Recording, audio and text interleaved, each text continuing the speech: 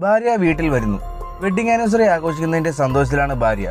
ഭർത്താവിനെ കണ്ട് happy wedding anniversary dear എന്ന് പറയുന്നു. എന്നാൽ ഭർത്താവ് ഒരു എക്സ്പ്രഷനുമില്ലാതെ ഒരു ചെയറിൽ ഇരിക്കുകയാണ്. ആദ്യമൊക്കെ തന്നെ പ്രാങ്കിയാനാണെന്ന് വിചാരിച്ചെങ്കിലും പിന്നീട് എന്തോ സീരിയസ് ആയി സംഭവിച്ചിട്ടുണ്ടെന്ന് ഭാര്യയ്ക്ക് സംശയം തോന്നുന്നു. ഭാര്യയുടെ നെഞ്ച് പടപടാൻ ഇടിക്കാൻ തുടങ്ങി. ആ പേടിയിൽ ഭർത്താവിന്റെ അടുത്ത് ചെന്ന് കയ്യിൽ തൊടുമ്പോഴാണ് ഭർത്താവ് ഭസ്മമായി പൊടിഞ്ഞു പൊടിഞ്ഞു പോകുന്നത്. അതായത് ഭർത്താവ് ചാരമായി മാറിക്കഴിഞ്ഞു. ആ ദൃശ്യം കണ്ടതോടെ അവർ വല്ലാതെ ഷോക്കാവുകയും ഉറക്കെ കരഞ്ഞുകൊണ്ട് നിലവിളിക്കാൻ തുടങ്ങുന്നു. പെട്ടെന്ന് തന്നെ അവിടെ എഫ് ബി ഐ വരികയും ആ ദൃശ്യം കണ്ട് അവരും ഷോക്കാകുകയാണ്. കാരണം ആദ്യമായിട്ടാണ് അങ്ങനെ ഒരു കേസ് അവർ ഡീൽ ചെയ്യുന്നത്. അവർ ആ വീട് മുഴുവൻ ഇൻവെസ്റ്റിഗേറ്റ് ചെയ്യുകയാണ്. അതിൽ നിന്ന് രണ്ട് കാര്യം അവർക്ക് മനസ്സിലാകുന്നു അതായത് ഇതൊരു റോബറി അല്ല. കാരണം വീട് ആരും ആക്രമിച്ചിട്ടോ കുത്തിപ്പൊളിച്ച് കയറിയിട്ടോ ഇല്ല. രണ്ടാമത്തെ കാര്യം ഇത് തീ കൊളുത്തി മരിച്ചതല്ല. കാരണം അങ്ങനെ മരിച്ചെങ്കിൽ അവിടെ മുഴുവൻ പൊള്ളിയതിന്റെ ദൃശ്യമുണ്ടാകണം. ആ ചെയറിനോ വീടിനുള്ള വസ്തുക്കൾക്കോ തീ പിടിച്ചിട്ടേ ഇല്ല അതിന്റെ ഒരു തെളിവും അവിടെയില്ല. ഡോക്ടർ ബിഷപ്പ് ഒരു ഫോറൻസിക് വിദഗ്ധനാണ്. അദ്ദേഹത്തിന് ഈ കേസ് വളരെ എക്സൈറ്റ്മെന്റ് ആയിട്ട് തോന്നുന്നു. കാരണം അദ്ദേഹം ആദ്യമായിട്ടാണ് ഈ ഒരു കേസ് ഡീൽ ചെയ്യുന്നത്. അദ്ദേഹം അവസാനം എന്ത് ചെയ്യുന്നു? ആ ചാരത്തിന്റെ ഒരു അംശം ലാബിലേക്ക് ടെസ്റ്റിന് വേണ്ടി കൊണ്ടുപോകുന്നു. പക്ഷേ നമ്മുടെ ഏജന്റ് ഫിലിപ്പിന് ഇതൊക്കെ കണ്ടിട്ട് എന്തൊക്കെയോ ഓർമ്മ വരികയാണ്. കാരണം ഇതുപോലെ കേസ് അദ്ദേഹം ഡീൽ ചെയ്തിട്ടുണ്ട്. ഏജന്റ് ഒലിവിയുടെ അടുത്ത് ചെല്ലുകയും ഒലീവിയോട് ഇയാൾ ഏതെങ്കിലും ഹോസ്പിറ്റലിൽ പോയിട്ടുണ്ടോ എന്ന് ചോദിക്കുകയും ചെയ്യുന്നു. കാരണം വർഷങ്ങൾക്ക് മുമ്പ് ഒരു ലോക്കൽ ഹോസ്പിറ്റലിനെ ചുറ്റിപ്പറ്റി ഇതുപോലുള്ള പല കേസുകളും റിപ്പോർട്ട് ചെയ്തിട്ടുണ്ടെന്നും അന്ന് വിക്ടിംസ് എല്ലാം ഇതുപോലെ ചാരമായി മാറിയെന്നും ഫിലിപ്പ് പറയുന്നു. ആ കില്ലർ വളരെ വിയേഡായിട്ടാണ് എഫ് ബി ഐയോട് പെരുമാറിയത്. ഒരു സ്പെഷ്യൽ കെമിക്കൽ ഫോർമുല സോൾവ് ചെയ്താൽ സറണ്ടർ ആയിക്കൊള്ളാം എന്ന് എഫ് ബി ഐയോട് കില്ലർ പറഞ്ഞു. പക്ഷേ എഫ് ബി ഐക്ക് അത് സോൾവ് ചെയ്യാൻ കഴിഞ്ഞില്ല. പിന്നീട് അയാൾ ഡിസപ്പിയർ ആകുകയാണ് ചെയ്തത്. ഇന്ന് വരെയും അയാളെ പിടിക്കാൻ അവർക്ക് കഴിഞ്ഞിട്ടില്ല. എന്തെങ്കിലും തുമ്പ് കിട്ടും എന്ന ഉറപ്പോടെ അവർ ഹോസ്പിറ്റലിൽ എത്തി ഇൻവെസ്റ്റിഗേറ്റ് ചെയ്യുന്നു. ഒരു മെയിൽ നേഴ്സിന്റെ ഡാറ്റാസ് പരിശോധിക്കുമ്പോൾ അവർക്ക് അതിലെന്തോ അൺയൂഷ്വൽ ആയിട്ട് തോന്നുകയാണ്.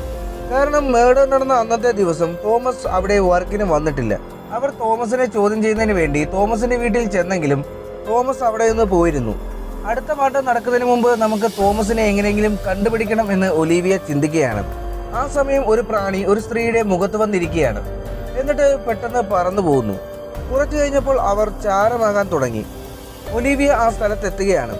ഡോക്ടർ ബിഷപ്പ് അവരുടെ ചാരവും എടുത്തുകൊണ്ട് ലാബിൽ ടെസ്റ്റ് ചെയ്യാൻ കൊണ്ടുപോകുന്നു. അങ്ങനെ ഒരു റേഡിയേഷൻ ടെസ്റ്റ് നടത്തുകയാണ്. ആ ചാരത്തിന് തുള്ളി പോലും റേഡിയേഷൻ ഇല്ല. ഇത് ബിഷപ്പിന് വളരെ കൺഫ്യൂസിംഗ് ആയിട്ട് തോന്നി. ഇതൊരു കുഴപ്പിക്കുന്ന കേസാണെന്നും ഏതൊരു വസ്തുവിനും ഒരു നിശ്ചിത റേഡിയേഷൻ ഉണ്ടാകുമെന്നും എന്നാൽ ഈ ചാരത്തിന് ഒരു റേഡിയേഷൻ പോലും ഇല്ല എന്നും ഡോക്ടർ ബിഷപ്പ് പറയുന്നു കില്ലർ തന്ന കെമിക്കൽ ഫോർമുലേഷൻ സോൾവ് ചെയ്താൽ മാത്രമേ നമുക്ക് കില്ലറെ കണ്ടുപിടിക്കാൻ കഴിയൂ. കൂടാതെ ഡോക്ടർ ബിഷപ്പ് കില്ലർ ഒരിക്കലും മനുഷ്യനാകില്ല എന്ന് ഉറപ്പിച്ച് പറയുന്നു. ആ സമയം ഇവിടെ ഹോസ്പിറ്റലിലെ ഫൂട്ടേജ് പരിശോധിക്കുകയാണ് ഒലീവിയ. ഫൂട്ടേജ് പരിശോധിക്കുമ്പോൾ അൺയൂഷ്വൽ ആയിട്ടുള്ള ഒരു ദൃശ്യം കാണുകയാണ്. ഒരു കറുത്ത രൂപം ഒരു നേഴ്സിന്റെ പുറകെ പോകുന്നു. വീഡിയോ പോസ്റ്റ് ചെയ്ത് സൂം ചെയ്ത് നോക്കുമ്പോൾ ആ കറുത്ത രൂപത്തിന് ഒരു മനുഷ്യന്റെ ഷേപ്പാണുള്ളത് ആ സമയം ഇവിടെ നമ്മുടെ ഏജന്റ് ഫിലിപ്പ് മെയിൻലൈസ് തോമസിനെ കുറിച്ച് കൂടുതൽ വിവരങ്ങൾ കളക്ട് ചെയ്യുകയാണ്. തോമസ് റഷ്യയിൽ നിന്നാണെന്നും തോമസിന്റെ ബ്രദർ അലക്സ് റഷ്യയിലെ ഒരു ബഹിരാകാശ യാത്രികനായിരുന്നു എന്നും അയാൾ ഫൈൻഡ് ചെയ്യുന്നു. ഒരു സ്പേസ് മിഷനിൽ വെച്ച് അലക്സിന് ആക്സിഡന്റ് ഉണ്ടാകുകയും അന്നു മുതൽ അലക്സ് കോമയിലാണ്. അതുകൊണ്ട് തന്നെ തോമസ് അലക്സിന് അഡ്വാൻസ് ട്രീറ്റ്മെന്റിന് വേണ്ടിയാണ് അമേരിക്കയിലേക്ക് കൊണ്ടുവന്നിട്ടുള്ളത്. ആ ഫൂട്ടേജ് ഡോക്ടർ ബിഷപ്പ് കാണുകയും ഡോക്ടർ ബിഷപ്പ് അതിന് റീസണബിൾ ആയിട്ടുള്ള ഒരു എക്സ്പ്ലനേഷൻ നൽകുകയും ചെയ്യുന്നു. ആ സ്പേസ് മിഷനിൽ വെച്ച് ഏലിയൻ അലക്സിനെ അറ്റാക്ക് ചെയ്യുകയും അലക്സിന്റെ ബോഡി കൺട്രോൾ ചെയ്യുകയും ചെയ്തു. അലക്സ് ഇപ്പോൾ ഒരു ഹോസ്റ്റ് ആണ്. ആ ഏലിയൻ മറ്റുള്ള ഹ്യൂമന്റെ റേഡിയേഷനാണ് നിലനിൽപ്പിന് ഉപയോഗിക്കുന്നത്. ആ ഏലിയൻ നിലനിൽക്കാനുള്ള ഒരേ ഒരു മാർഗം മനുഷ്യന്റെ റേഡിയേഷൻ ഉപയോഗിക്കുകയാണ്. അതുകൊണ്ട് തന്നെയാണ് മനുഷ്യനെ കൊല്ലുമ്പോൾ മനുഷ്യൻ ചാരമായി മാറുന്നത്. അങ്ങനെ അടുത്ത സീനിൽ അലക്സിന്റെ ബോഡിയിൽ നിന്നും ആ കറുത്ത രൂപം പുറത്തു കടക്കുന്നത് തോമസ് കാണുകയാണ്. തന്റെ സഹോദരനെ രക്ഷിക്കാൻ വേണ്ടി വേറെ വഴിയില്ലാതെ അതിനെ തടയാൻ വേണ്ടി ഷോക്ക് കൊടുക്കുകയാണ്. ഷോക്ക് ഏറ്റതും ആ രൂപം പതിയെ അലക്സിനുള്ളിലേക്ക് പോവുകയാണ്. കുറച്ചു കഴിഞ്ഞ് ആ രൂപം കൂടുതൽ ശക്തിയിൽ പുറത്തേക്ക് വരുമ്പോൾ തോമസ് കൂടുതൽ വോൾട്ടേജിൽ ഷോക്ക് കൊടുക്കുന്നു. അത് ഉള്ളിലേക്ക് വീണ്ടും പോകുന്നു. ആ ഷോക്കിൽ നിന്നും അലക്സ് തലനാരിഴയ്ക്ക് രക്ഷപ്പെടുകയാണ്.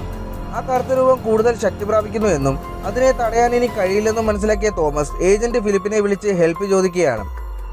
ഫിലിപ്പ് ഒന്നും പേടിക്കേണ്ട എല്ലാം ഞങ്ങൾ നോക്കിക്കോളാം എന്ന് പറഞ്ഞ് കട്ട് ചെയ്യുന്നു. ഇവിടെ ഡോക്ടർ ബിഷപ്പ് അവസാനം ആ ഫോർമുല സോൾവ് ചെയ്യുകയാണ്. എന്നിട്ട് ഫിലിപ്പിനോട് പറയുകയാണ് അലക്സിന്റെ ശരീരം ഇപ്പോൾ ഏലിയന്റെ കയ്യിലാണ്.